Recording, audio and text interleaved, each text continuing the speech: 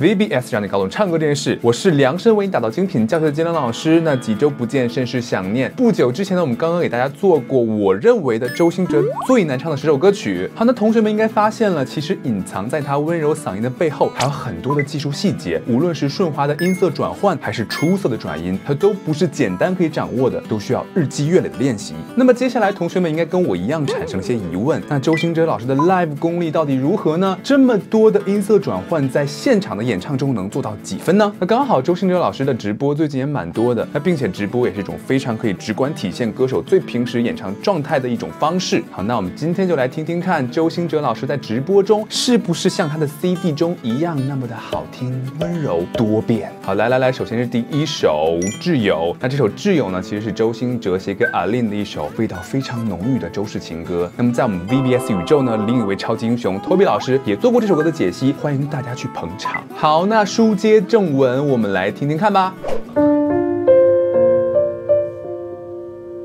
嗯，是弹唱。他今天穿的少年感好强，好像个小男孩。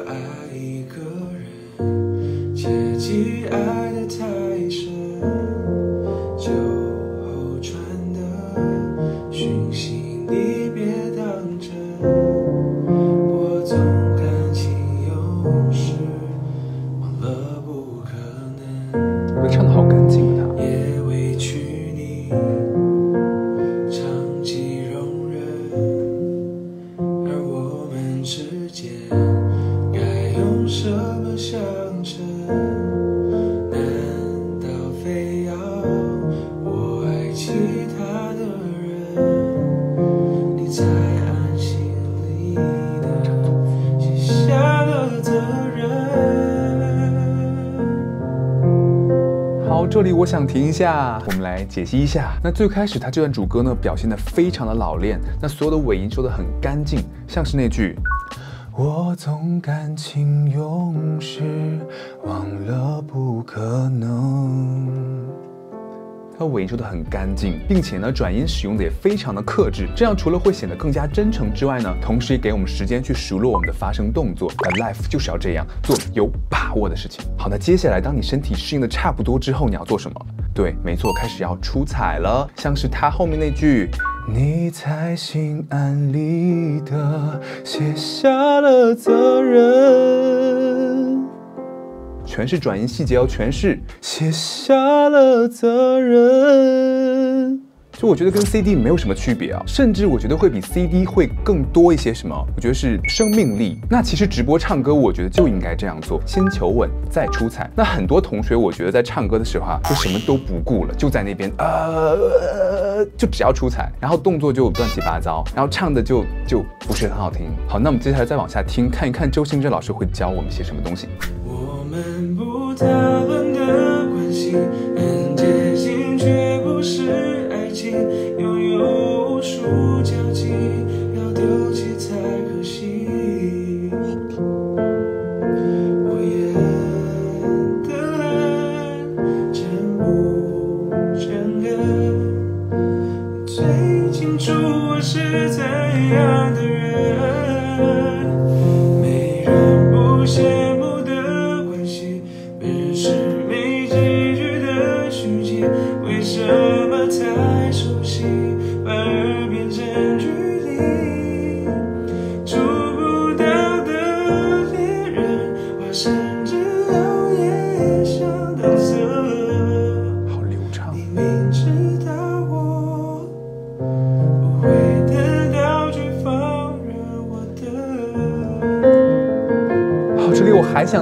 可能刚刚那边有一句非常心碎。那么《挚友》这首歌其实讲的是个什么故事呢？是两个人他们之间的关系是有达以上，但恋人未满，并且你非常渴望跟对方成为恋人，但对方却不给你那个层面的回应。他可能可以给予你那些所有挚友上可以提供的任何情感，但就是不在感情那一步迈出去。所以你会怎么样？你会很心碎、很不甘。那我们来看看周兴哲老师是怎么唱这句的吧。他唱的是：你最清楚我是怎样的人。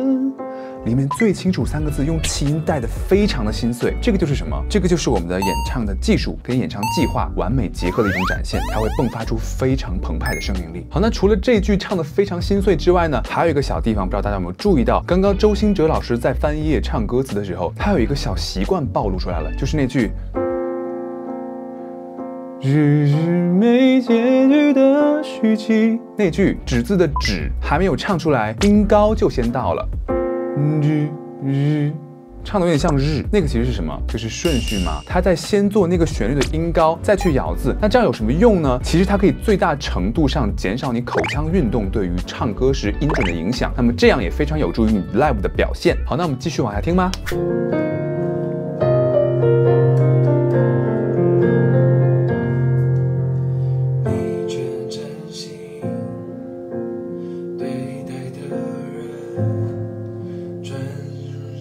转角的我。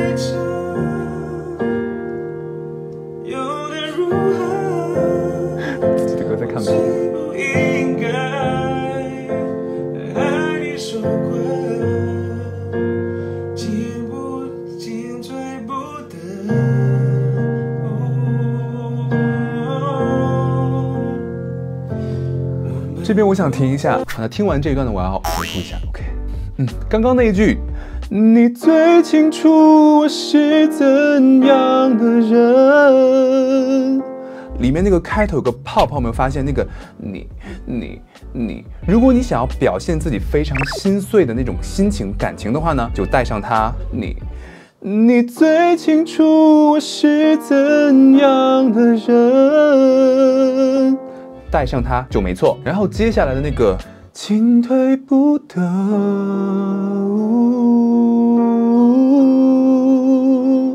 也很出彩。你会发现他在做的时候，肩膀以下的发力完全没有松掉，甚至在音色很气音很弱的时候，他就已经在注意那个微弱的阻抗了，就像是进退不得。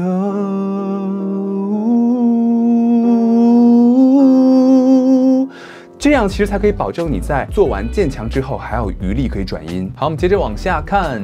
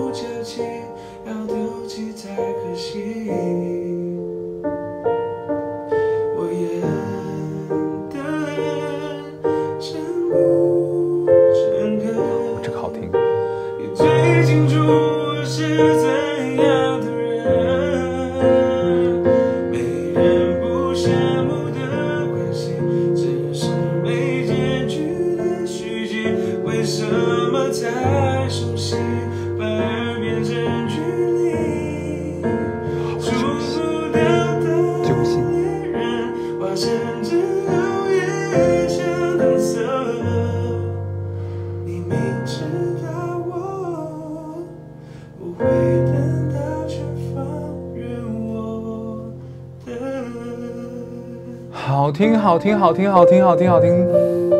好的，刚刚那一句，我演得很真不诚恳。他的真部很顺，并且接到那个“诚恳”两个字的颗粒感很揪心。他其实做了个什么？做了一个拉伸的动作，先出来，然后再给空气，就会形成那个我演得很真不诚恳，诚恳。那还有它的尾音，就是后面那一句，你最清楚我是怎样的人。它会带一个下坠，其实就是一个在积极制造阻抗的标志。好，那么最后的最后那一句，触不到的恋人，化身只有野香搪塞。好，那它里面有个野字呢，其实也做了一个从弱到强这样一个变换，这也是赋予它灵魂的一个过程。那么你要怎么做到的呢？你需要从很弱的阻抗里面就开始辨认出那个野字的拉伸的力气，像是化身只有野。想搪塞，这个其实对于唱功的要求蛮苛刻的。我们也看得出来，周兴哲老师唱功真的是十分的在线。好，那整体来讲，相比于 CD，我更喜欢现场的这个版本，因为其实很像是在做一个音色的过山车，那上上下下的周兴哲老师完成的都非常的好。那么除此以外呢，我觉得大家应该注意一下周兴哲老师在直播时，他眼神在跟观众互动那个频率，我觉得很重要。其实你只要在用眼神跟观众沟通的话，会对你的演唱有个很好的加分的效果。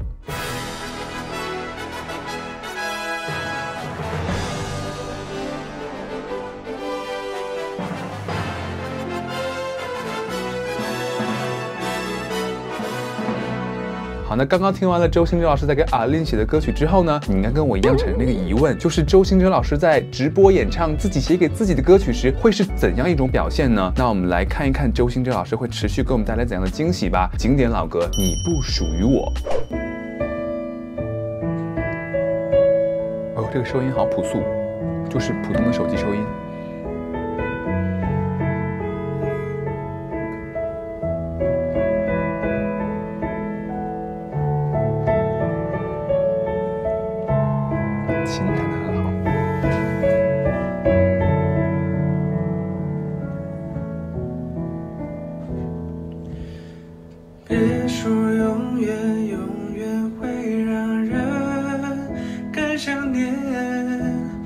就像再见从不会再见。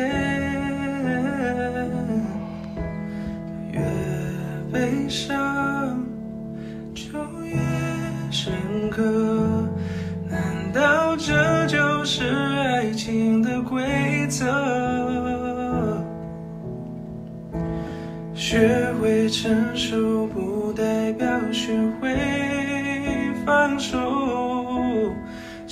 就像舍得从来不舍得，爱不用选择，更无需假设。我说深深爱过才会懂得。好，我们停一下。那也大变样，它所有的尾音都在放飞，像是那句“别说永远，永远会让人更想念”，就像再见从不会再见。气很顺，音转得很顺，他的即兴能力真的是很强。还有他那一句“爱不用选择”的“爱”字，还有一个小小的颗粒感，显得非常的性感。那其实很多人做这个“爱爱”的时候会显得很油腻，但是搭配上周兴哲清新的嗓音，真的是非常的合适。好，那我们接着往下听吧。你不属于我，属于我的脆弱。我们只剩今天，怎么奢求以后？如果你发现我被藏好的那些真相理由，我会练习有话直说。你不属于我，属于我的愧疚，我是真的愿意消失在你身后。唱到心坎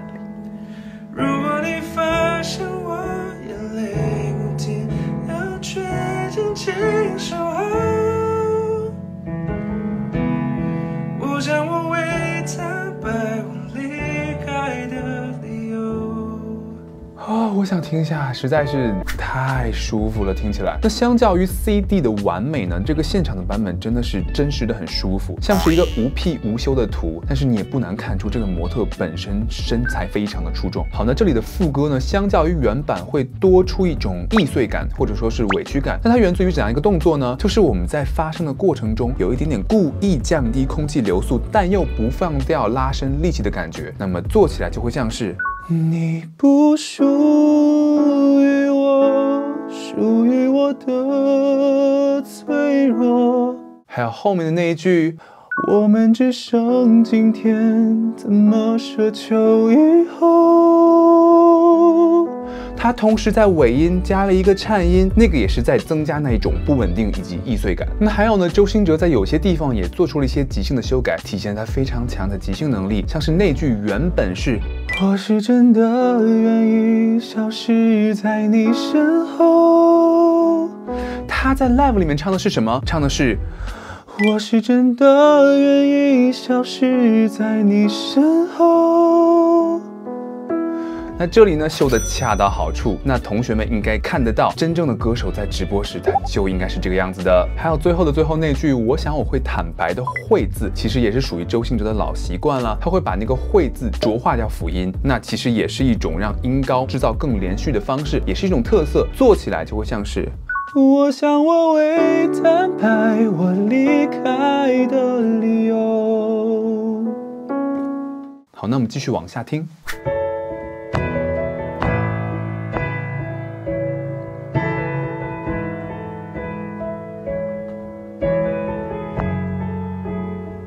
秀琴技。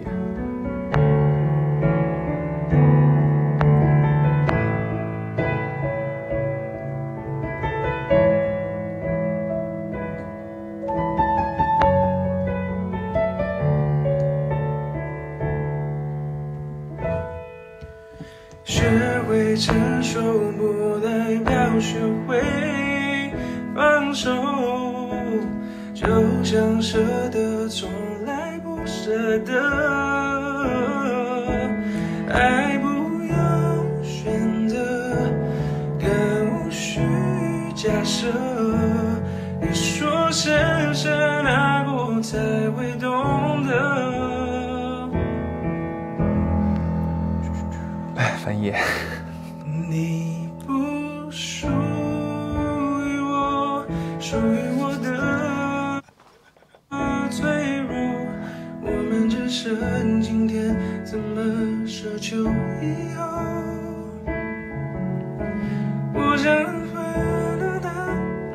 直播效果。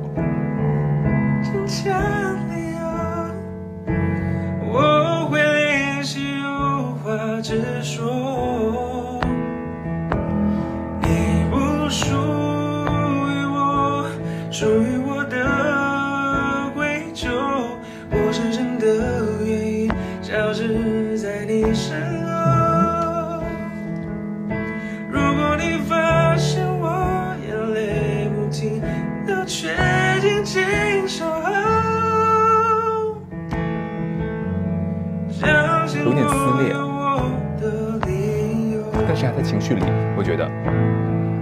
不该让你一个人承受。如果没有我，你是否还能坚强度过？我发誓对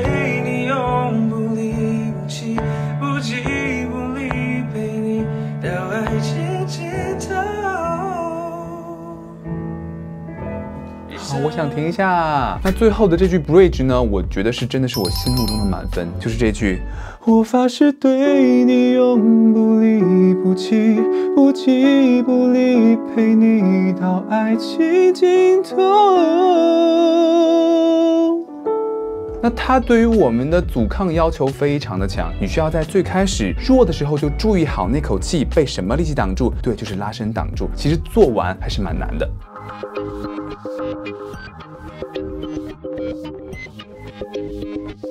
好，我们把最后一段听完吧。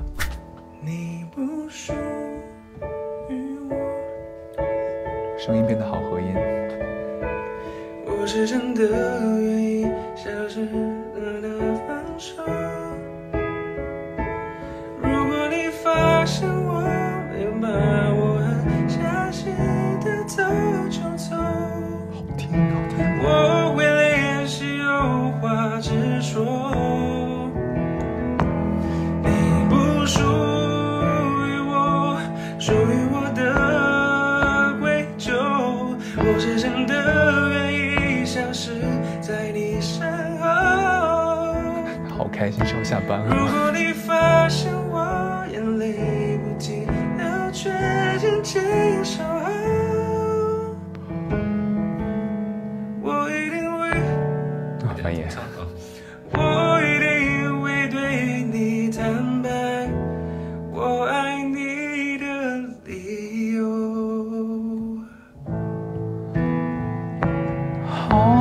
完美收官。好，那这首歌呢，相较于 CD 的版本，我觉得现场更具备一种真实性。它就像一个老朋友在你面前演唱你们都很熟悉的老歌，他没有很重的包袱，也没有很急于证明自己很会唱，他就是把它安静的唱给你听。同时呢，周兴哲的即兴能力很强，他会呈现出一些跟 CD 完全不一样的音高计划，同时唱商也很高。他会在做到一些比较危险的音色时呢，赶紧转变自己的方法，让自己跑到一个哎略微安全的一个地方，让自己今天的身体的情况跟他的表现完美的匹配在一起，这样会让现场的演唱更具备完整性。好，两首歌听下来呢，其实相较于 CD，我更喜欢他现场演唱的版本，因为我们可以从其中学到很多东西，像是一些临时的反应啊，像是一些即兴的创作啊。因为其实我们每天演唱时身体的状况不太一样，我们需要去让自己的身体匹配我们今天要演唱的内容，这也是一种唱商的体现。那同学们如果想提高自己的唱商的话呢，一定要多听直播，要多听现场。好，那今天的内容就到此结束啦。那下一次你还有哪一位想跟我一起听的歌手的话，不妨在下面留言。VBS 展广唱歌室，我们下次再见啦，拜拜。